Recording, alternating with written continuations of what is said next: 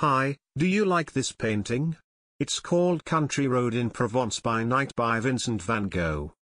Van Gogh paints Country Road in Provence by night shortly before leaving the asylum at Saint-Rémy.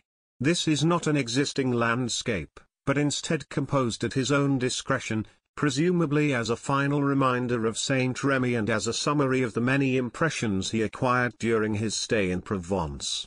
Van Gogh experiments with his use of color and brushwork in Saint-Rémy. Many works are composed of graceful forms and swirling lines. That is also the case here. The short, rhythmic wavy brushstrokes placed side by side give the painting great dynamism. Like and subscribe to explore more artwork. Thank you for listening.